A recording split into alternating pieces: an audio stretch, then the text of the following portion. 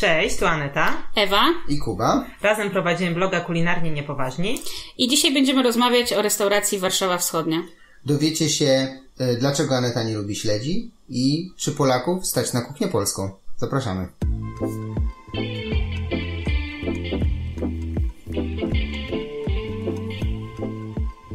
Zacznijmy od samej lokalizacji. Warszawa Wschodnia, Mińska 25, kompleks Soho Factory, em, stary taki ceglany, chyba poprodukcyjny budynek, bardzo ładny ogródek, e, spore miejsce, mm, bardzo ładnie wyglądające, w sensie robi bardzo dobre pierwsze wrażenie. Czy to taki klimat, bym powiedziała, y, starej Pragi, tak? W sensie, no nie jest to Praga Północ, tylko Praga Południe, ale już tam na obrzeżach i zdecydowanie jest tu klimat po prostu taki Pragi, właśnie cegła, wysokie y, pomieszczenia, bo ta restauracja jest bardzo wysoka. I co jest jeszcze fajne, to otwarta kuchnia. Tak, tak, tak, tak. Jest tam gdzieś za szybą, żeby olej nie chlapał, ale e, wszystko widać w zasadzie. Jeszcze siedząc w środku było widać więcej, my tym razem siedzieliśmy po prostu na ogródku, ale i tak można się poprzyglądać, co jest fajne. Znaczy, no cała knajpa siedziała na ogródku. Nie wiadomo, czy to takie covidowe ym, restrykcje, czy też ładna Lato, pogoda. myślę. No, myślę, że to może być trochę połączone jedno z drugim, e, ale nikt akurat tego dnia nie jadł w środku, tak? Więc y, byliśmy na zewnątrz, ale ogródek też spory, Tak, więc tak, tak, też tak. przyjemnie było. Ale Ewa? jeśli będziecie siedzieć w, w środku, no to fajnie po prostu podglądać pracę kucharzy. Ewa, na co namówiłaś nas na przystawkę, żeby zjeść? Na śledzia. A Aneta nie chciała zamówić śledzia. Tak, bo- ale może jeszcze byśmy powiedzieli No. trochę o kuchni polskiej w ogóle i czym się charakteryzuje no też ta, dobrze, no dobrze, jakby, no okej, bo no, okej. powiedzieliśmy co to jest, ale Dobrze, nie wiemy na dobrze. co tam serwują, tak? Dobrze, Aneta, scena jest twoja. Dziękuję. Nie, generalnie Warszawa Wschodnia serwuje kuchnię polską. Tak. E, I też my nie jesteśmy jakoś specjalnie takimi wielkimi fanami takiej kuchni. W sensie czasem lubimy coś zjeść, ale nie jest to nasz pierwszy wybór, jeśli chodzi o taki obiad niedzielny, tak? Jeśli Mhm. raczej myślimy o wyjściu na miasto, to tam Pizza, ramen. Trochę tak, Trochę ale, tak. To, ale to jest prawda, bo prowadzimy tego bloga już od jakiegoś czasu i naprawdę ja przynajmniej po sobie, ale myślę, że wy też, y, daleka byłam do polskiej kuchni. Tak, opowiadaliśmy o tym już tam w poprzedniej e, audiorecenzji a propos schabowego, że do tej kuchni polskiej było daleko, bo jest takie mocne rozwarstwienie, dla mnie przynajmniej, między kuchnią polską, że są bary mleczne, które podają bardzo tanie Z jedzenie. taką panią z siatką na, głowie, przykład, z tak robi fruty ziemniory na dokładnie. talerz. I taka jest mega mocna ta kuchnia, tam są te pierogi, nie wiem, albo krokiety, naleśniki, Schabowe. schabowe, dokładnie, takie proste jedzenie. Ono często jest dobre, często jest za bardzo małe pieniądze, albo stosunek jakości do ceny jest po prostu dobry, bo jak można dostać jakiegoś kotleta za 2 zł, no to ludzie tam no dobra, kupią. no 15, nie No, no przesadzę, tak, no, no tak. A z drugiej strony, jak już się chce robić porządną kuchnię polską, to nie ma czegoś takiego pośrodku, tylko od razu idziemy w takie restauracje. Nie mówię, że od razu fine dining. No, Ale wiadomo, nawet jeżeli obsługa, chodzi- kelnerzy, no. Nawet nie tyle, że sama restauracja i rodzaj, tylko wybierane składniki, typu ja mam takie przynajmniej wrażenie, powoli mi się zmienia, ale kuchnie polskie, te takie bardziej eleganckie, to kojarzyłam jakieś, nie wiem, dziczyznę, przypiórki Tak, i nagle tak. się okazuje, że sam y, produkt i, i, i cena jego, no, zaważa na tym, ile po prostu musimy zostawić y, Tak, nie można zrobić pierogów ruskich albo zrazów wołowych, tylko od razu trzeba lecieć w przepiórki i dziczyznę. Ale nie, no ale nawet te zrazy i kaczki też są dosyć drogie w restauracjach. Mhm. No tak, no ale dobra, ale generalnie przeskakujemy z takich barów mlecznych od razu do takich restauracji Tak, tak. z dużą kartą win, dużą obsługą, wszyscy już tam chodzą trochę sztywno. Ale i, to nawet. I są restauracje. Nie, bardziej, ja bym powiedziała, że nawet to jest bardziej kwestia cen, tak? Przechodzimy z 15 zł do 60. Nawet nie do 60, tylko czasami nawet więcej. Albo więcej. No ale 60 zł za danie główne to Tak. też jest sporo. No to, to jakby rozmawiamy tutaj o no, takim wyjściu powiedzmy i no to, to nie jest mało, tak? No chyba, że zamawiasz tylko danie główne i wychodzisz, tak? Więc y, no, masz 15, gdzie masz jeszcze kompocik może. I ziemniaczki I ziemniaczki i 60, gdzie masz tylko danie główne. I musisz do te ziemniaczki domówić za dodatkowe Na przykład. Więc jest też spora dysproporcja, tak? Więc to, często właśnie kuchnia polska, jeśli nie mówimy o barze mlecznym, nie jest taka yy, casual, tak? Że tak sobie wyskakujesz i na przykład taki po prostu obiad nie odświętny, tylko taki normalny. Lepszy Lepszy, troszeczkę zjeść. lepszy, No, na mieście, na mieście. ale nie za bajońskie pieniądze, tak? No i niestety muszę się przyznać, że idąc do Warszawy Wschodniej, szedłem z przekonaniem, że tam będzie po prostu droga kuchnia. Nie chcę powiedzieć niekoniecznie warta swojej ceny, ale może nie taka komfortowa, na tyle, ile bym się czuł, żeby jeść polską kuchnię, nie? I teraz ładna parabola z mojej strony. Przechodzimy do tego, co zamówiliśmy. Śledzie. Śledzie, to Ja ja nam namówiłam. tak. No jak, no, be- bez śledzika. My nie braliśmy lufy żadnej. Nie braliśmy, Bo nie. było wino. E, ale śledzik musiał być. Śledzik był bardzo fajny. Bardzo dobra ryba, sama w sobie. E, obok tego była... E, A przede wszystkim on był w oleju lnianym. tak, tak, tak, tak. Był w oleju lnianym, na boku To bliżej- też polski olej generalnie, tak? W Olej sensie- lniany, polski olej? No tak mi się tak. wydaje. No to No jest tak. taki, no on teraz wraca znowu do mody, bo jest bardzo zdrowy, Zdrowy. ale no to jest raczej mm, jakby, to nie jest oliwa z oliwek, która Tak, jest z Włoch albo z Grecji, tak? I też trochę innym smaku, nie? No nie, no tak, ale chodzi mi, że no oliwa z oliwek nie jest produktem polskim, a olej lniany, no to z tego... Też mi się tak, wydaje, tak, że jest tak, polskim, tak. ale nie, nie wiemy, dajemy Skąd, sobie... tak, stąd tam Warszawa Wschodnia Tak. wiesz, ale za, zakładamy, że tak. E, I do tego e, cebulka, Cebulka była i na śledziu, ale do tego również była śmietana Mhm. z jabłkiem i cebulą. I oprócz tego był taki mały kartofelek z, Gotowany, z tak, koperkiem. Tak, tak, tak. Ale na przystawkę bardzo fajne danie. Mi ta śmietana z tą cebulką bardzo fajna. To nie była taka zalewa, to tam się nie lało. Nie, nie, to była taka gęsta, fajnie. Mhm. gęsta taki, no nie powiem, że krem, bo to nie było ubite w żaden sposób, ale po prostu gęsta śmietana. Tak, bardzo się przyjemnie to jadło. Bardzo fajna Ja jadłam I- tylko śledzika, ale spoko było. Tak. Ale a- powiedziałaś, że ryba, co powiedziałaś, że ryba była bardzo Nie, dobra. ryba Tak. była dobra, nie jestem fankiem śledzi, chociaż trochę się przekonuję, ale ja bez cebuli, tak?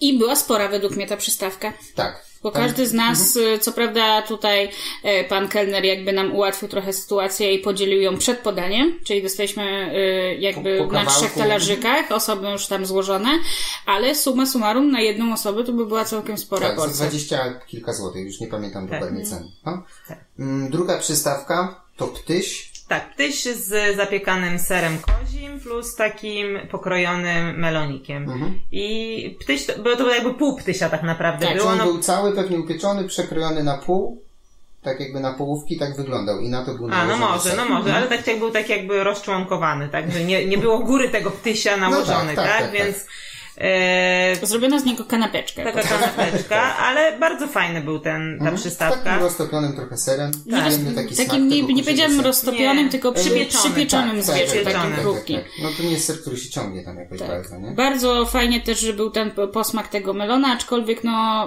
yy, nie trafi... Trafiliśmy na trochę niedojrzałego melona. Nie, myślę, że już nie taka- sezon po prostu. No i- tak, no teraz jest idealnie. Szarbuzy teraz są melony, to teraz jest sezon, ale może był po prostu No dobra, no nie wgłębiając się, rzeczywiście tu można było tam troszeczkę podciągnąć. No troszkę- ale troszkę jako przystawka bardzo fajne. Bardzo smaczny Mhm. był, tak. I, I w ogóle sam pomysł też ptysia, no bo ciasto parzone, no dosyć popularne uważam, że u nas jest. No u nas w się tak, no, Tak, że na tak. słodko No na słodko, a tutaj taka wersja z słona, więc y, z tym serkiem kozim uważam, że bardzo fajna. Taka dosyć lekka mimo wszystko, sympatyczna. Tak, dokładnie tak. I trzecią przystawką, która tak naprawdę, no to jest danie główne, można sobie zamówić. No my to wzięliśmy na przystawkę, żeby się podzielić. To były pierogi z bobem. E, no tak sezonowo teraz. Do tego był e, taka mm, Konfitura. konfitura na bazie śliwek, tak? Tak, no dla mnie to miało konsystencję chutneyu, takiego, nie takiej konfitury słodkiej z kawałkami owoców, ale rzeczywiście mocno było czuć śliwki, dlatego mówimy, że na bazie śliwek. Nie dopytywaliśmy dokładnie, jak było zrobione. Tak, i jeszcze tam okraszone to było jakby takimi cebulką, prawda? Taką Tak, tak, tak, przysmażoną. I to było Niestety. fajne. No, to było fajne, bo pieróg z bobem sam w sobie już był dobry. My też bardzo lubimy Zanetą przynajmniej bubę, bo ostatnio mówiłeś, że nie jesteś Ja, mega czy ja fanką. nie jestem mega fanką, znaczy w sensie lubię go, Tak, ale nie jem go. Tak jak przychodzi sezon, to nie kupuję 7 kilo bobu i nie. nie jem. Nie to, a, co a u my. nas zamrożone A kilogram. my pół kilo. zamroziliśmy kilogram. Tak, no Ale pierogi były bardzo dobre Tak. i z, z miłą chęcią zjadłam. I w ogóle ciekawy pomysł. Ja wcześniej nie, w ogóle nie spotkałam się z pierogami z bobem.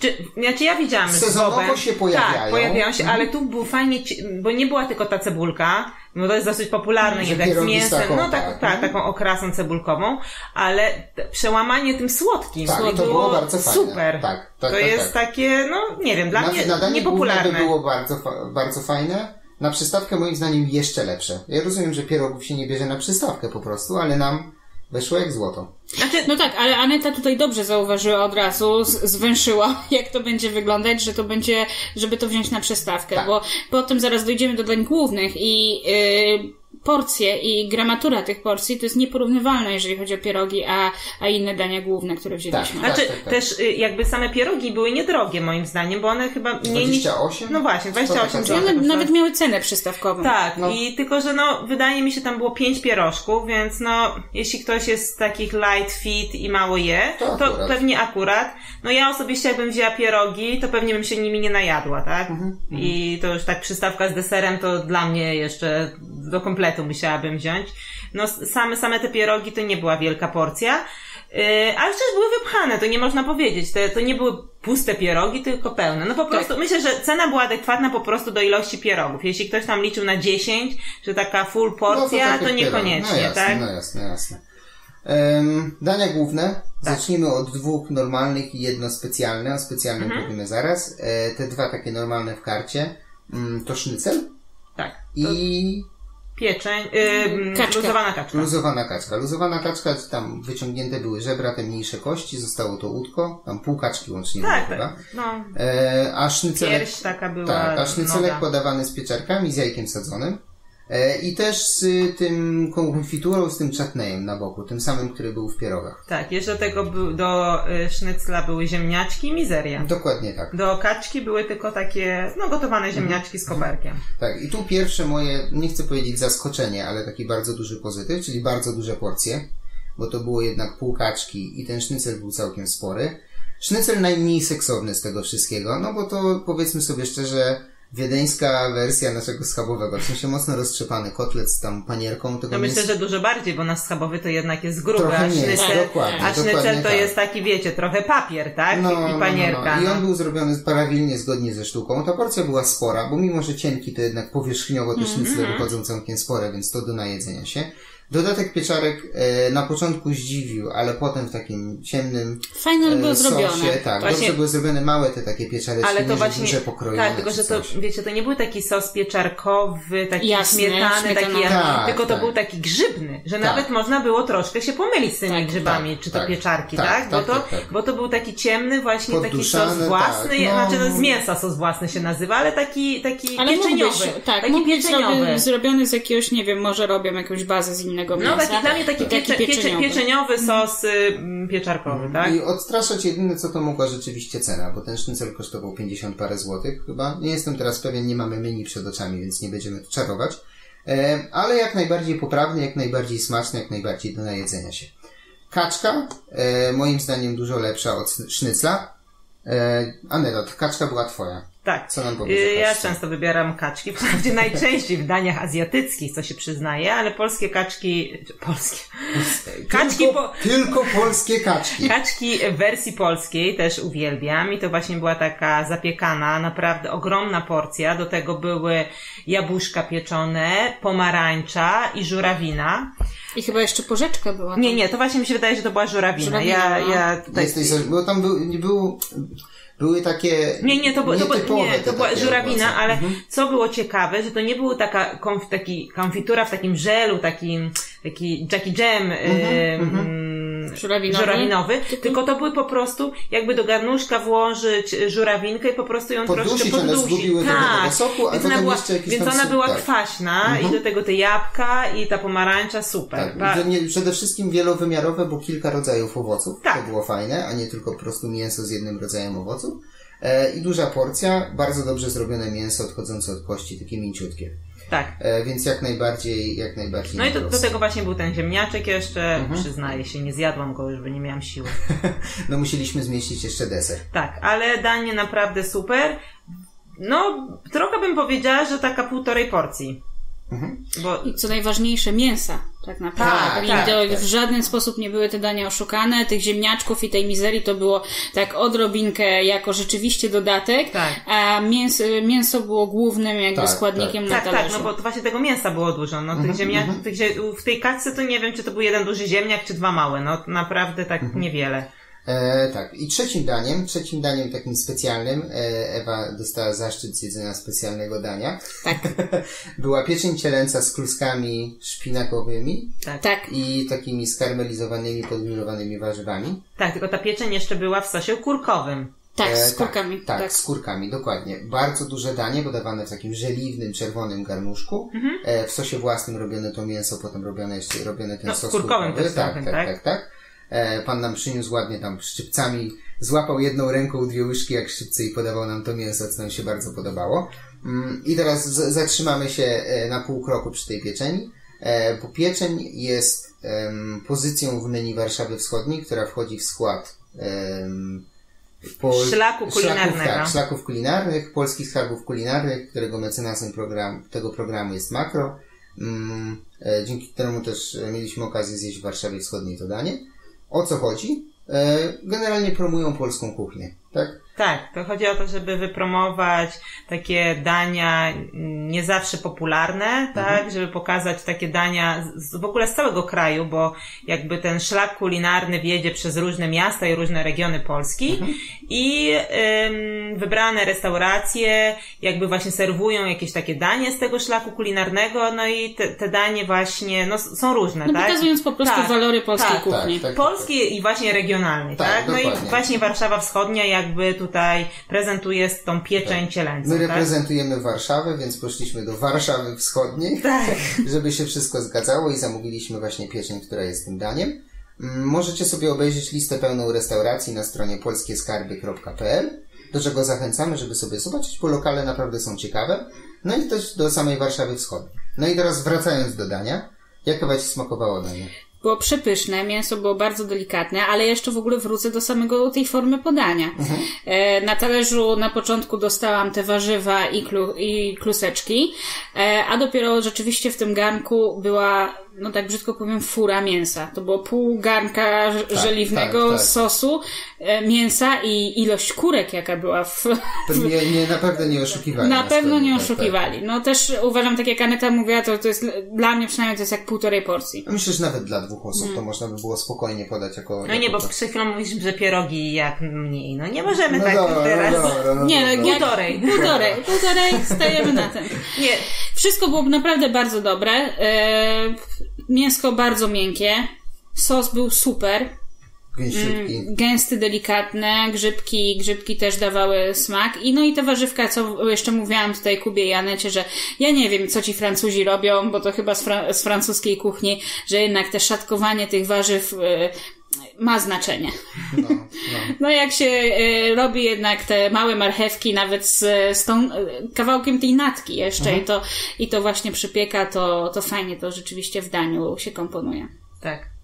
E, Myślę, że mi najbardziej smakowało. W sensie to było takie koronne danie związane z tą kolacją i z całym tym programem i rzeczywiście, już nie nagabując specjalnie na program, ale dla samego jedzenia, mi smakowało najbardziej. Bo najciekawsze. I ten sos, i to podanie robiło taki efekt, wow, dobre to mięso było. Najbardziej Nie, no, naprawdę bardzo dobre, aczkolwiek ja muszę powiedzieć, że no moja kaczka, no. No ale ty Kaczka jesteś fanką ja wiem, ja kaczki, jestem fanką i w kaczki. tajskim, i w ramenach, i tak. tu, i tam. I te polskie, i te, Ja i te wszystkie inne. kaczki, ja wszystkie kaczki lubię. Ale trzeba przyznać, no oba te dania, ta kaczka i, i ten e, pieczeń, no to kosztowały 64 zł i oczywiście danie było bardzo duże, ale to tak jak rozmawialiśmy trochę na początku, no moim zdaniem cena jest trochę odstraszająca. W sensie faktycznie jak już dostaniemy te danie, to wychodzimy z tej kolacji full Tak, pełni. wiemy za co Tak, zapłaciliśmy. aczkolwiek no jak idziesz, no to właśnie to nie jest danie za 40 zł, które gdzieś tam cię przekonuje właśnie, żeby tak gdzieś tam szybko wyjść na obiad, tylko no tu płacisz Musisz tam... się nastawić, że idziesz tak. już na kolację, tam, tak. No to czy obiad, no nie musi być Tak, kolacja, tak, no tak, prawda? Ale to jest to, to, co właśnie rozmawialiśmy na początku. No, tu mamy albo troszkę taki 15 zł, albo płacimy właśnie 60. I no nie jest to jeszcze takie Komfortowe. dla komfortowe dla wszystkich, tak? Ale mi się wydaje, że trzeba troszeczkę jakby y, przełamywać się, wychodzić ze swojej strefy komfortu, bo y, ja to też to do końca ina- inaczej, troszeczkę inaczej też widzę, bo czasami zdarzają się dania po 35-38 zł, które naprawdę są marne. Mięsa prawie nie ma, e, jest marnej jakości. Albo jest dużo ziemniaków nawalonych Dużo i na to kawałeczek tak. mięska, żeby wyglądało, że jest dużo. Tak, bo i, su, i surówka taka typu Kolesław e, z jakiegoś takiego dużego pojemnika kupowana. E, I wtedy to jest mi przykro, bardziej, te, tych wydanych 38 zł, niż 60, gdzie naprawdę dostałam kawał mięsa, dobrego mięsa, czy właśnie tej, czy, czy kaczki, no, no jest różnica. Jest, nie, no to jest, grzyby, jest. które, e, nie oszukujmy się, do najtańszych też nie należą. Nie, to na, w na, naszym na, kraju i myślę, pewno. że gdzie indziej też nie. No w ogóle poza Polską, no to Już nie grzyby ma- nie są takie popularne, tak? No u nas jest jednak taka trochę oaza grzybowa i się też dużo zbiera ich. Tak. Nie, znaczy ja nie chcę mówić, że te danie jakby nie było warte swojej ceny, bo po prostu nawiązuje do jakby początku, że no nie wiem, no idzie się na ramen, to płaci się tam 35 zł, tak? I, i też człowiek się naje. I Mm. chodzi mi o to, że no jednak Jest to na pewno Tak. różnica, a zwłaszcza ją odczuwa się, kiedy bierzemy i przystawkę, i główne, i Tak. deser, i jeszcze jakiś napitek. Tak, Więc, ale, y- ale porcja była bardzo duża, więc była jakby warta, tak? To, to nie było tak, że dostaliśmy samą tą nóżkę kaczki, która na, powiedzmy kosztowała 30, no tylko dostaliśmy też tą piersią, tak? Tak, tak, tak, więc tak. no, płacimy Dobra, adekwatnie. dobra, Dobra, koniec. Dość o tych porcjach, już koniec. Desery jeszcze były. Dwa desery. Tak. Ciasto czekoladowe. To taki, taki. To, Taki, tak, tak, tak, taki. tak, tak. Mhm. I beza z truskawkami. E, ja zostawiam wam desery, opowiadajcie. Przecież cały czas teraz gadaliśmy i powiedziałeś, że nie możemy już Jest, więcej jestem, mówić. jestem dzisiaj leniwy po prostu. Dobrze. A, rozumiem. Ewa, o czym chcesz opowiedzieć? Ja mogę opowiedzieć o torcie czekoladowym, Dobrze, ponieważ... świetnie, bo ja wolę bez...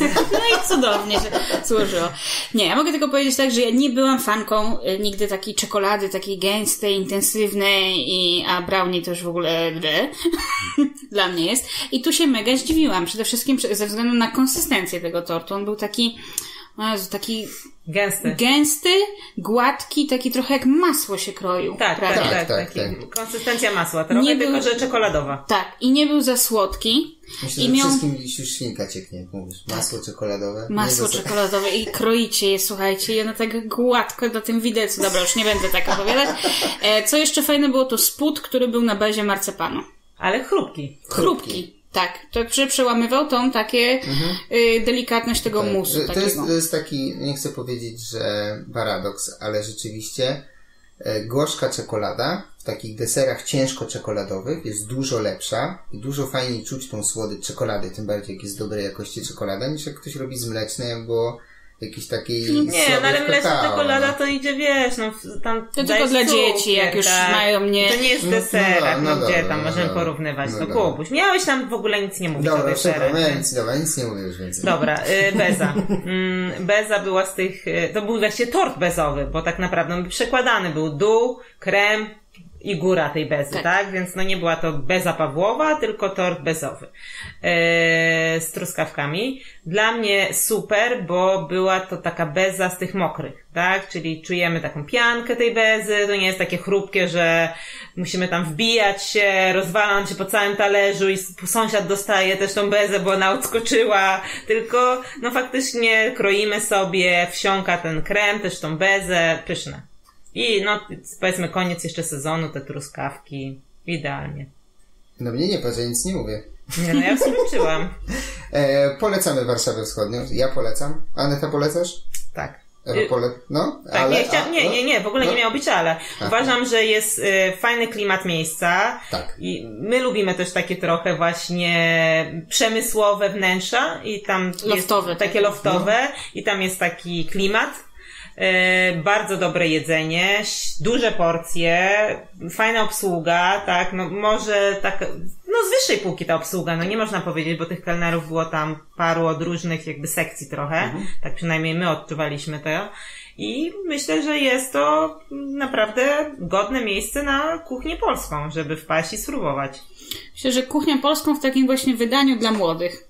Bo jeszcze a propos właśnie wystroju, tak jak mówisz tego loftowego, to ja jeszcze na przykład w kuchniach polskich, w restauracjach niestety nie lubię to takiego swojskiego klimatu. W sensie jak jestem w górach, to to mi pasuje.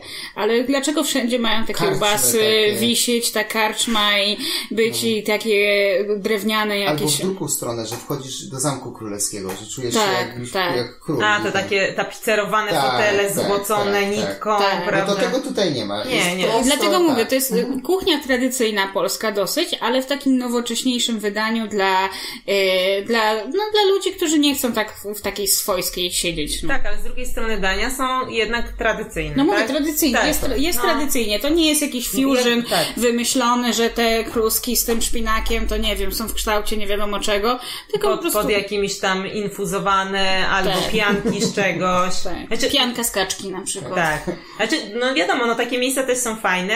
Yy, po prostu idzie się tam z innego powodu. No to jest po prostu takie, dla mnie takie tradycyjne polskie dania, ładnie podane, w fajnym wnętrzu. Czyli Aneta poleca, Ewa poleca. Zdecydowanie. Ja też polecam. Trzy razy tak. E, dziękujemy Warszawie Wschodniej za bardzo dobre jedzenie. Polecamy Wam zobaczyć sobie stronę Polskie Skarby e, Kulinarne. Pamiętajcie, żeby obserwować nas na Facebooku i na Instagramie. Podcastów możecie słuchać na YouTubie i na Spotify'u. Dziękujemy. Dzięki. Do zobaczenia.